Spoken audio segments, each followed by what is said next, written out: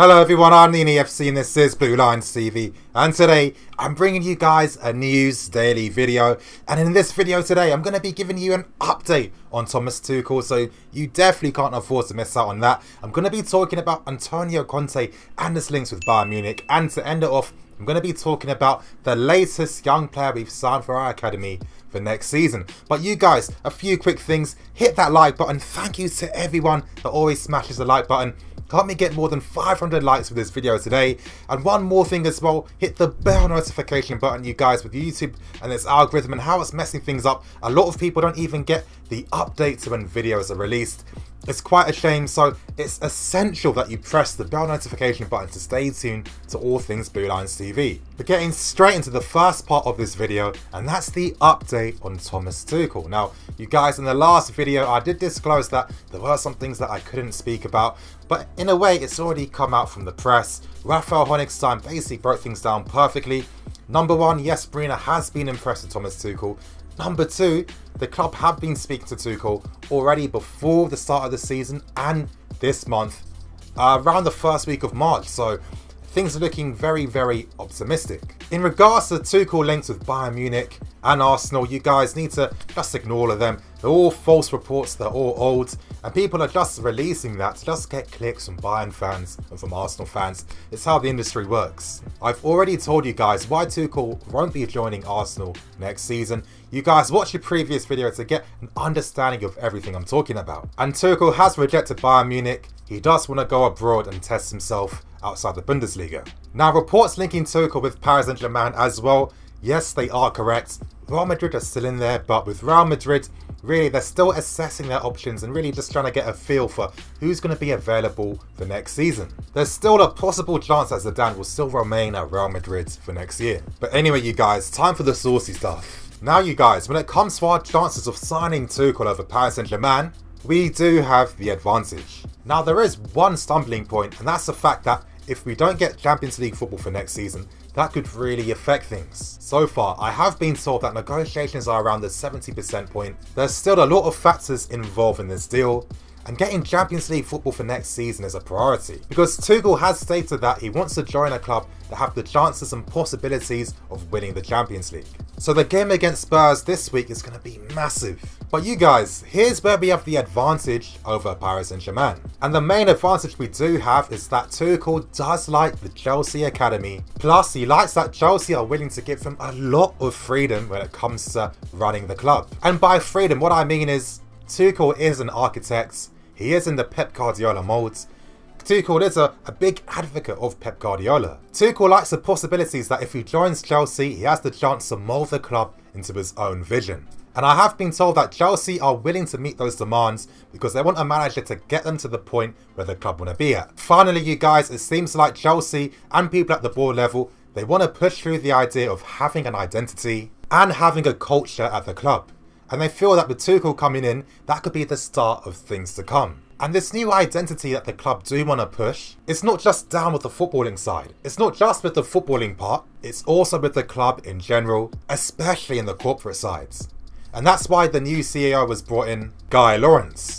Now there are more advantages that we do have over Paris Saint-Germain, and we can actually thank Pep Guardiola for that. Now Tuchel has been out of management for a whole year, he has been on a sabbatical, and he has been really honing his skills, learning more about the game, and obviously going to different clubs to study their training sessions. Similar to what Pep Guardiola did. And I've been told that Tuchel wants to test himself against Pep Guardiola and against some of the other big managers in this league. And that's one of the main advantages that we do have over Paris Saint-Germain. Tuchel, he's a perfectionist, he's a purist, so he wants to challenge himself against the very best.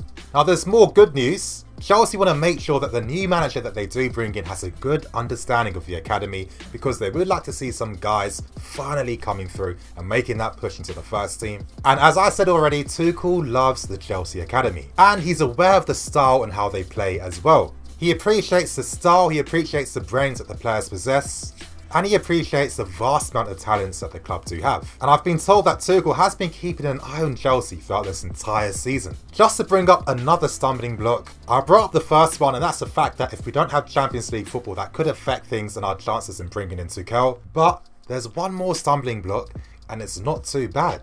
And this makes quite a lot of sense, especially when you look at Tuchel's past relationship with the sporting director at Dortmund. Like I said, you guys, watch the previous video to get the full depth and understanding of what happened between Miroslav and Tuchel. But Tuchel would like to work with the right sporting director. And this is where I'm personally feeling very optimistic because we are trying to bring in Luis Campos. Talks have been happening for a while, you guys have been hearing it on this channel.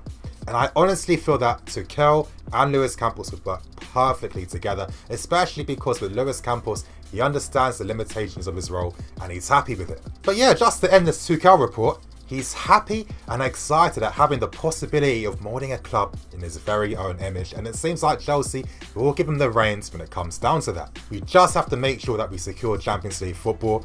You guys, if we get the win against Spurs, it's time to be very optimistic and positive. Moving into the next story, and that's about Antonio Conte and his links with Bayern Munich. Now, this story has come out from Kicker, yes, that same paper that claimed that Arsenal were leading the race for Tuchel, and they're stating that Bayern Munich are looking at the possibility of even looking at a foreign manager. This makes a lot of sense. Bayern with the belief that Tuchel was going to be joining them at the end of the season. When they found out that he wasn't going to be doing that, that really messed up a lot of their plans. Now they're in the hunt to bring in a new manager for next season. But there's one stipulation that the manager needs to have if they want to join Bayern Munich, and that's the fact that they need to be able to speak German. Now when it comes to Antonio Conte, we already know that only took him two to three months to learn English and speak fluently. So it wouldn't be too crazy to think that maybe Conte could do the same thing for Bayern Munich. Now, to just give some of my own thoughts and opinions, this does make some sense. Of course, if Bayern Munich were looking for a verbal agreement in terms of who the new manager was going to be to join them for next season, this would make sense to target them right now, because number one, it would give a foreign manager especially time to study German, plus it gives Bayern Munich time to start planning for next season. Still, Conte still wants the Paris Saint-Germain job, that's the number one job Conte wants. And there's still a chance that could happen. If we do bring in Tuchel and beat Paris Saint-Germain to his signature, I see Conte joining Paris Saint-Germain. Of course, Luis Enrique is in the works. His high wage advance is the main reason why a lot of clubs really aren't getting too involved with it. But you guys, tomorrow I'm going to be releasing another news daily video in regards to Antonio Conte and his future. We do know that I'm going to give you guys a story on his contract situation and whether Antonio Conte is going to be sacked or if he's going to leave on his own terms. And the last story for today is that Chelsea have signed 15-year-old Jayden Braaf from PSV. Now Jayden Braaf is able to play all across the front three, up front and on either wing. We've beat United and Man City to his signature, as well as other clubs such as Bayern Munich and West Ham. Stefano van Delden, his agent, has stated that they have reached a verbal agreement with Chelsea, and when you reach that verbal agreement, it basically just clarifies the transfer. And Jayden Braaf fits the mould of striker we're looking to develop at the club.